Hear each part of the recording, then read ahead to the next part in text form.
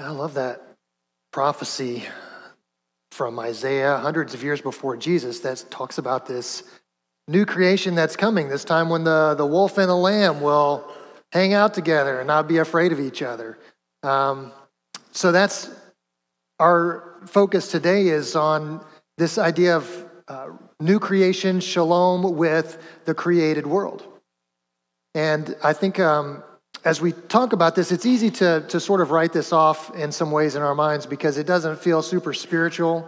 Um, we think about environmentalism as something that is politicized or it's economy driven or something like that, and we don't think about it as very spiritual. And we also don't see how we can really make a difference sometimes. How does one person really make an impact? You know, if I put the plastic water bottle in this trash can versus that one, you know, what am I really accomplishing? And so, what I hope we can do today is kind of see a broader picture of what it means for us to have shalom with creation and how humans and, and creation are, are really kind of linked. And what we've been talking about in this series um, is that shalom is the way things ought to be. It's the way things ought to be. It's bigger than just peace, it's bigger than just an absence of conflict. It's this sense of flourishing and life and harmony, and that we are able to enter into this shalom the way things ought to be when we start with our relationship with God. If we can have shalom with our Creator who has made it possible through Jesus for us to have shalom with Him, then that's our foundation for shalom in other areas of our lives. If we have shalom with our Creator, then we can have shalom with ourselves. And we can see ourselves as people who are in Christ, and we can have peace about who God has called us to be in Christ. And then if we have shalom with ourselves and with our Creator, then we're set up for shalom with others. Uh, to see others the way God sees them and to treat them in a way that honors God. And so the final piece of the puzzle then is shalom with creation, our ability to engage with the created world as we were intended to, the way things ought to be. All right, give me a minute. Okay, there we go. So, um, the first week of our series, we had keychains available with this uh, symbol on them. If you didn't get one of those, we have some still at the Welcome Center. Just stop by and grab one of those on your way out, just as a reminder of these four aspects of uh, shalom as we continue uh, this conversation today.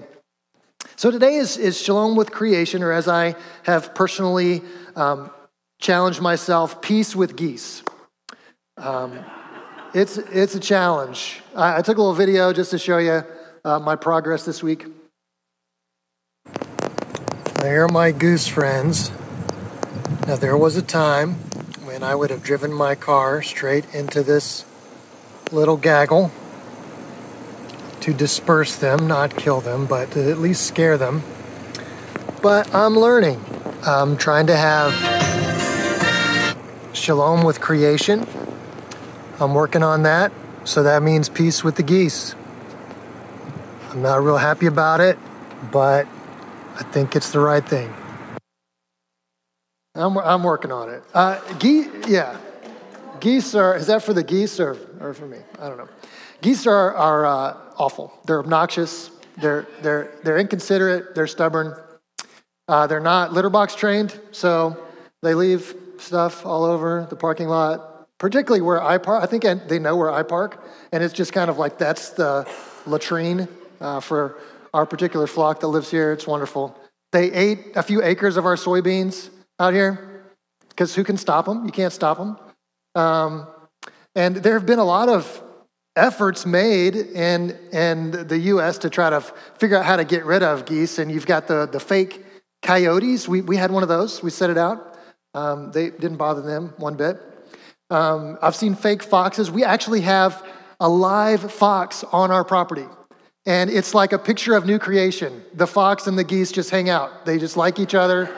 They seem to not be bothered by each other. Um, it's, it's beautiful. Worthless fox. Worthless. So, my question is can I have peace with geese? I find them annoying. Is that, is that what it means to have shalom with creation? I'm supposed to be at peace with geese. What about like mosquitoes? You know, that's part of creation. Am I supposed to have peace with mosquitoes? Because that's going to be a stretch. You know, there are some parts of creation that I just don't like. Cats, you know, am I supposed to have? So I'm going to offend somebody uh, in a moment. Always the goal. Um, but is, does that what it means to have shalom with creation? Is that I have to be at peace with all these uh, animals? Well, I think we, we are going to take a look at a broader picture of that. And um, I think there's this idea in uh, just human culture that we have this responsibility to take care of the planet. You don't even have to be a Christian. There are people who are not Jesus followers who, who believe that we have this responsibility to take care of, of the planet. And I think on the other side, we feel like there's not much we can really do about it. That this is more of a, a global problem. This, this is not something we can solve by recycling or you know using recycled products or driving a Tesla, although I encourage that if you can. Just you should do it. It's fun. Um, but what what does it mean for us to try to have shalom with creation when we feel like okay we we should take care of creation, but there's not a whole lot. This feels like something bigger than me. How how how am I supposed to make a connection with this? And is it a spiritual thing? So, as we begin to talk about peaceful creation, I just want to point out a couple of uh, Psalms that, that give us just a little glimpse. I mean, this stuff is all over Psalms, but here's just a couple of references from Psalm 24 1. The earth is the Lord's and everything in it, the world and all who live in it. The earth belongs to who? The Lord. Not, not really us, but he made it, it's his. Uh, from Psalm 19:1, the heavens declare the glory of God, the skies proclaim the works of his hands. Not only does he own it, but it, it reflects his glory. And so, if we see creation this way, it impacts how we think. Billy Graham uh, said this about our, our view of creation. When we fail to see the world as God's creation, we will end up abusing it. Selfishness and greed take over, and we end up not caring about the environment or the problems we're creating for future generations. So, if Billy Graham says it's spiritual, it's spiritual, right? I mean, we have to go along with that. But what he's saying is like there's this responsibility to see this as God's creation. It's, it belongs to Him, it gives Him glory. So, how we think about it, what we do with it, actually matters. So, I, I want us to take a look at this from a few different angles today and see if we can broaden our perspective and also uh, kind of gets to some personal steps to take uh, to do a better job with this. So, the first um, direction we're going to come from is the idea of order from chaos. Order from chaos. So, we're going to read uh, from Genesis chapter 1. We've talked before about how Genesis lays the foundation for our theology, how we see God, how we see ourselves, and how we interact with God. And so we see this as foundational. So, um, Genesis 1 1 and 2, if there's something on the screen that's underlined, you know what to do. That's your part. Read it aloud. Here we go. In the beginning, God created the heavens and the earth. Darkness was over the surface of the deep, and the Spirit of God was hovering over the waters. So, in the beginning, God created, right? What, what do we have here at the beginning? We have this, this situation that is formless and empty. Formless and empty. And then um, we're going to see water introduced, darkness over the surface of the deep, the Spirit of God hovering over the waters. And as you read through uh, the Hebrew scriptures, the Old Testament, you see more and more of this um, picturing water as this place of chaos and danger and destruction. And you see that in the flood story and Jonah and a lot of other um, parts of the Old Testament, that, that water is sort of represents this chaos, this, this formlessness and emptiness. And what does God then begin to do in the next verse? God said, Let there be light, and there was light. And he begins to bring order to this chaos. He's taking this formless and empty thing and he's putting structure to it and he's filling it with life and goodness and flourishing, right? And in a sense, we are invited to participate with God in bringing order from chaos. That's, that's part of our role as caretakers, guardians over creation, is to participate with Him in bringing order from chaos. And one of the ways we do that is by making things. Simply when we make things. There's a, a book by a writer named Andy Crouch uh, called Culture Making, where he talks about how when we make things with our hands, when we take raw materials that God made and we bring something out of it that is good and, and brings flourishing in life, that we are participating with God and, and bringing order from chaos. So if you think about when you cook a meal, or you bake something. When I bake, I put all my ingredients out, I weigh everything out and set it all out on the counter, and I usually take a picture of it because it's, it's interesting to me like to, to go back after I make something and see where it started. It starts with all, you know, it's a dozen ingredients just on the counter. It looks like chaos, and at the end, it's, it's a cake, you know? And so it's, it's bringing this order from the chaos of the, of the raw materials. That's, that's a participation with God because I'm bringing something like flourishing, life giving, hopefully delicious out of that.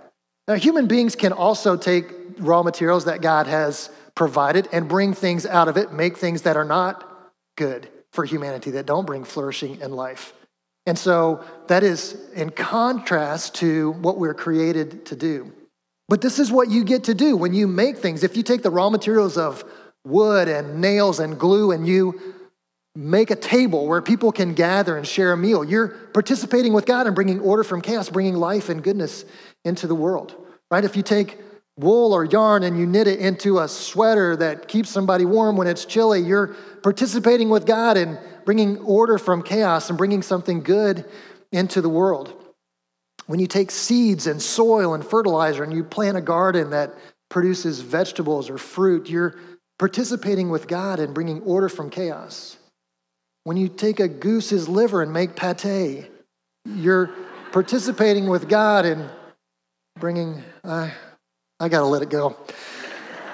this is what we get to do. So, this is why it's important for us to um, bring order from chaos in, in, in, our, in our lives, in other areas of our lives. Now, this, this, is a personality thing. Some people really like everything structured and neat in its place, and some people are okay with clutter. But there is, there is a spiritual aspect to this. So I know, like, when you're, when you're 15 and your parents come into your room after about two weeks of not being in your room, and they're like, What happened in here? And they say, You have to clean your room. And what do we say? Like, just don't come in. If you don't like it, don't come in here. It doesn't bother me. Like, I don't. I don't mind the clutter. I, I don't smell whatever you smell. It's, it's not really bothering me. Like, what's the big deal? I live in it. Why is it a problem? Here, here's what you can say. So, parent, Christian parents, write this down. Like, you were made to bring order from chaos.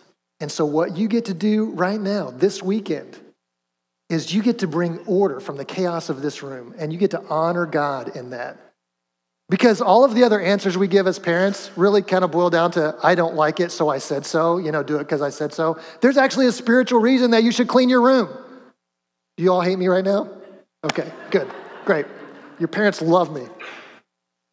But that's part of it. And here's the beautiful thing like when we do this, I know even as a, as a 15 year old, when I had to clean my room, when it was done, it felt great.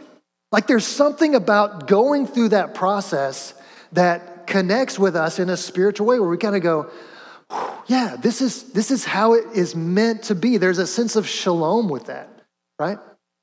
So that's what we get to do. So now your argument can be I messed the room up so that I can bring order from chaos and experience the shalom, right? Then that's your argument. So I'm helping you out too. You're welcome. So I think that's what we get to do when we make things that, that bring life and flourishing. Uh, the other aspect, uh, angle that I want to come from is this idea of being stewards of creation, stewards of creation. And this, we find this again in Genesis 1 and 2, uh, as God uh, gives the humans their, their purpose, this is from Genesis 1:28. God blessed them and said to them, "Be fruitful and increase in number, fill the earth and subdue it."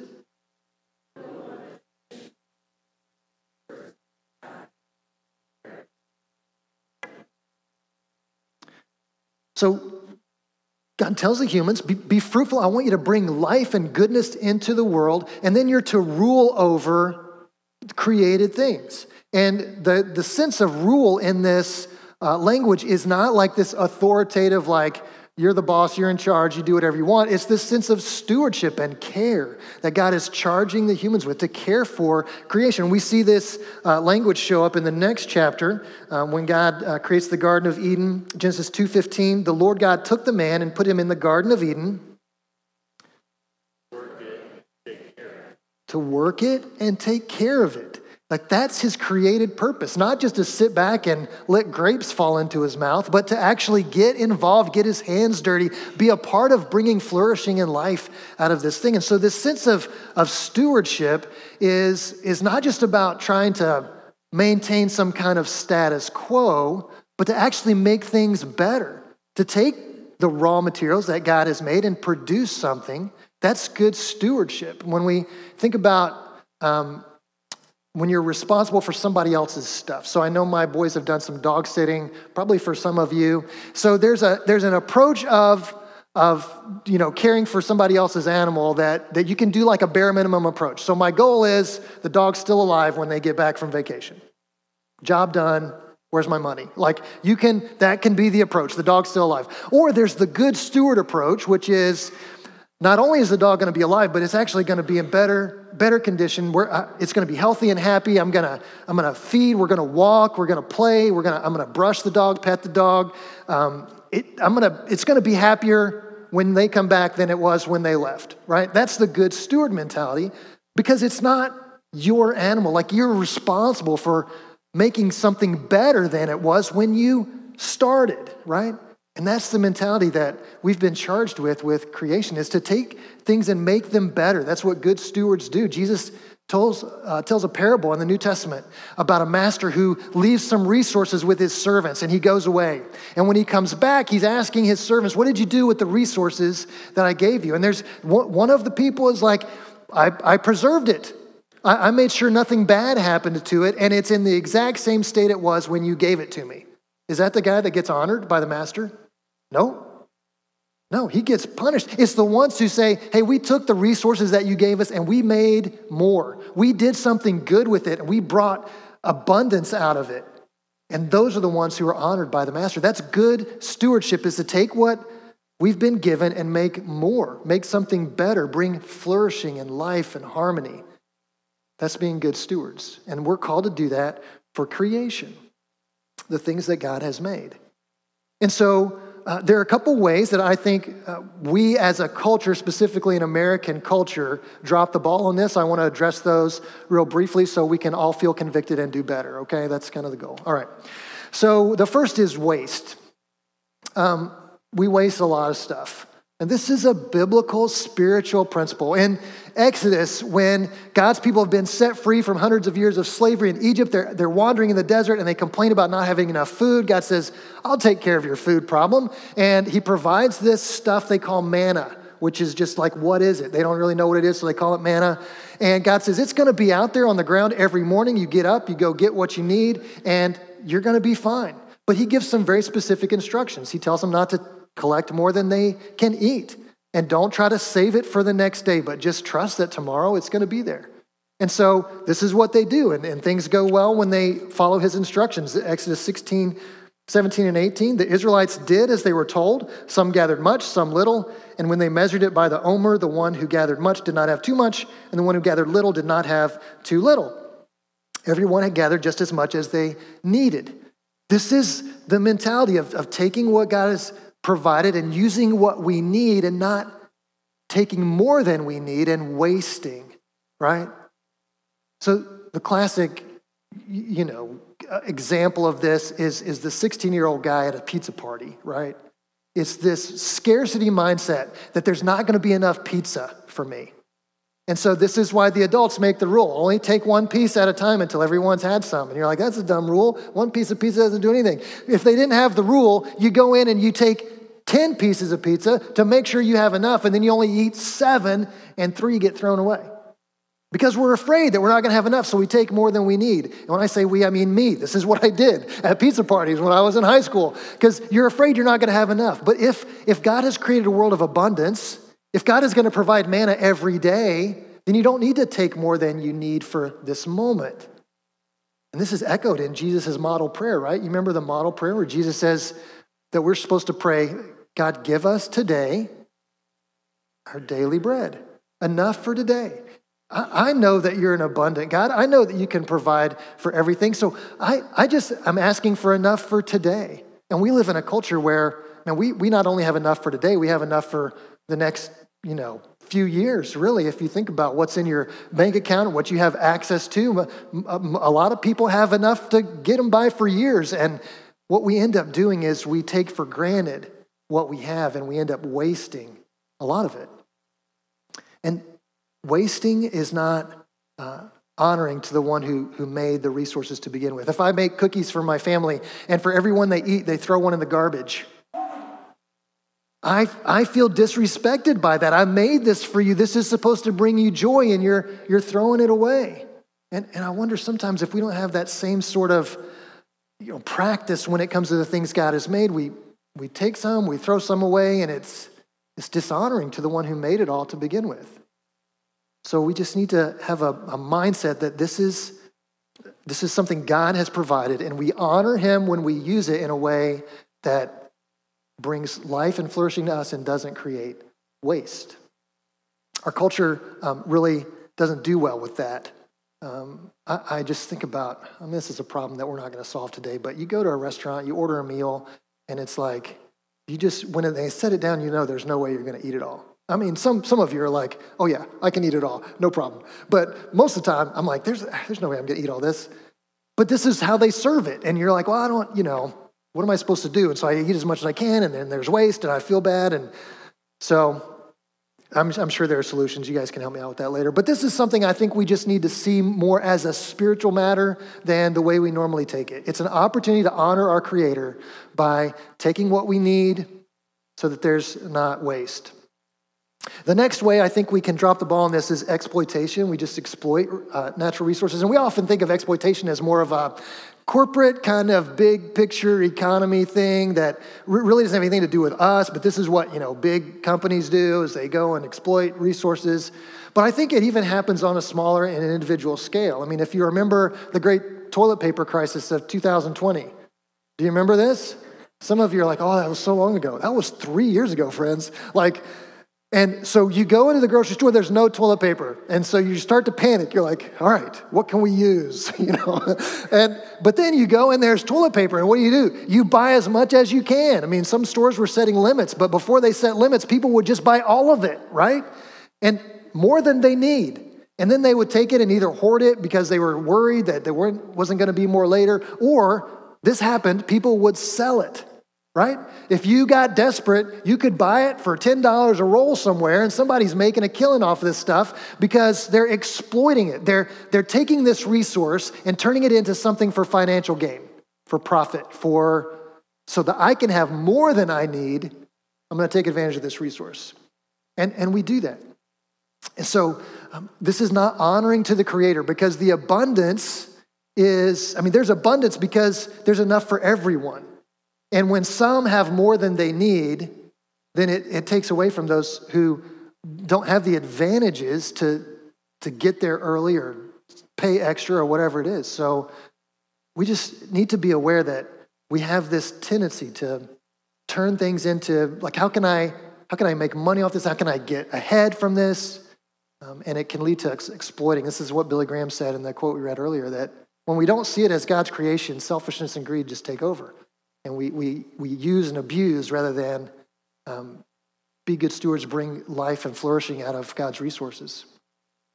So, what this leads to is this opportunity to see creation in a different way, um, to see that, that we're moving towards new creation, what Matthew talked about earlier, bringing, bringing heaven to earth. This is what we're moving towards, and Paul lays this out in, I think, a really cool way in Romans 8. We've been using Romans 8 sort of as our guide uh, for this study of shalom, so we're going back there to see how Paul talks about creation.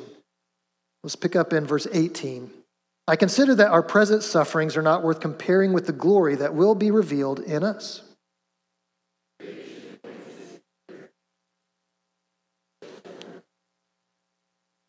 For the creation was subjected to frustration not by its own choice, but by the will of the one who subjected it, in hope that the creation itself will be liberated from its bondage to decay and brought into the freedom and glory of the children of God. Paul's making this, this connection. He's saying there's a link between humans and creation. You can't separate the two. That, that what happens to humans has an impact on creation. So he's referencing the fall when creation is subjected to frustration, not because of its own choice. So he's kind of, you know, anthropomorphizing creation and, you know, giving it human qualities and saying, like, all of creation is frustrated because of what happened at the fall. And the fall wasn't creation's fault. Creation didn't rebel against God, humans rebelled against God, and yet creation paid a price and is in bondage to decay, is how he, how he talks about it. So even though it's humanity, it's our fault, it has this impact because we're linked, we're connected in a way. Um, he goes on, let's continue. This is your part.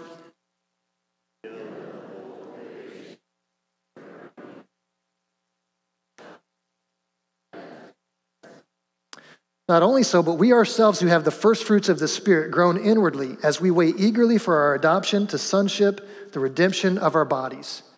So Paul would say, just as the consequences of the fall come to humans and creation, then the restoration of all things comes to humans and creation. That what, what we've been suffering, we're going to be set free from. So he talks about creation being set free from this bondage to decay, and that's, that's salvation language. That, that's all the way back to the Exodus and God setting the people free from slavery in Egypt. And that story just gets retold over and over again through the scriptures. Remember, I am the God who brought you out of Egypt. This is what he does. This is what salvation is, is setting free the captives. And just as humans, we're going to be set free from our sin and brought into new creation all of creation is going to be set free and restored and redeemed. And this is what we're called to look forward to is this restoration of all things. And because we know that the created world is suffering in, in, a, in a real sense, this is part of, of the curse that we see in Genesis 3. Let's go back to that. After Adam and Eve rebel against God and God pronounces a curse, um, here's uh, what he says about creation, verse 17 Cursed is the ground because of you. Through painful toil, you will eat food from it all the days of your life. It will produce thorns and thistles for you, and you will eat the plants of the field. So, again, this link between humans and creation that the ground was cursed because of human rebellion. Um, and we see, we see this show up in, in like natural disasters. I've got a couple graphs, and I know you can't read the words, but they're not important. But you see those spots, they indicate where there's been natural disasters um, across the world. And uh, this year, this is all from this year, 2023. There's a, a map of just the US.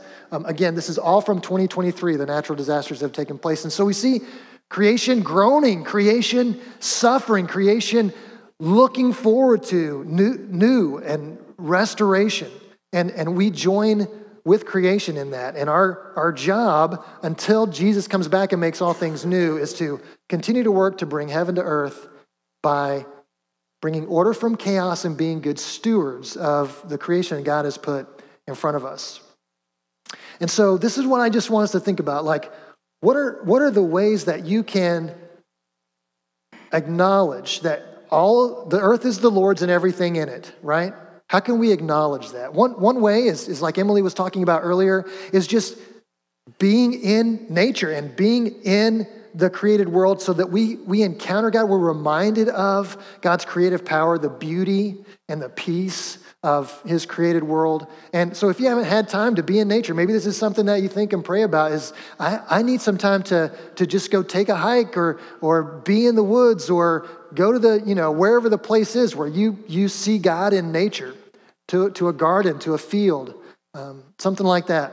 Um, but maybe it's, it's more in line with what we talked about bringing order from chaos. Maybe there's something that, that you, you like to make and it's, it's being able to see this connection between me taking these raw materials and making something good out of it that i'm participating with god in, the, in that way. Like i'm honoring the creator through that or maybe it's just paying more attention to the resources that I use and not wasting and not exploiting, but caring for those and bringing good out of them. And so I just want us to think about this because I think it, it impacts how we relate with the rest of the world. Our goal is not to, not to be on uh, any political, one political side or the other or one economic side or the other when it comes to how we think about the environment. Our goal is to have a posture that honors God with the way that we steward creation. And when we do that, I think when we can cut through the noise of all the other uh, voices around this subject and just focus on honoring God with the way we steward creation, I think we get an opportunity to show people that our faith is bigger than just gathering together on a Sunday morning to, you know, sing some songs and hear a message. And it's bigger than that. It, it's a whole life faith. It, it affects everything we do. And I think this is what people need and what they want. I mean, people don't need, people who are not Christians, they don't need something else to do on the weekends. They don't need just another thing to put on their calendar for Sunday morning. What they need is something that impacts their life in a deep, pervasive way. And that's Jesus, right? And we get a chance to, to honor God and, and reflect his love in the way that we steward creation. And I think it's a beautiful opportunity. So I want us to take some time to pray about that um, before we close today. Would you stand?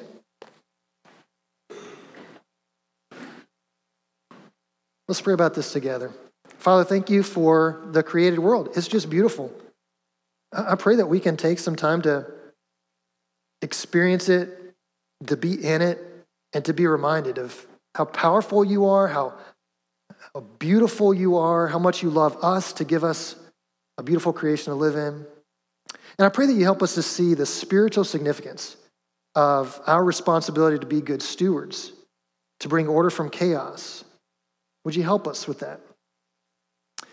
And I pray that we'll do this in a way that reflects your glory, shows people the powerful impact that you have on our lives every day, and it draws people to Jesus. Would you do that in us and through us? In Christ's name, amen.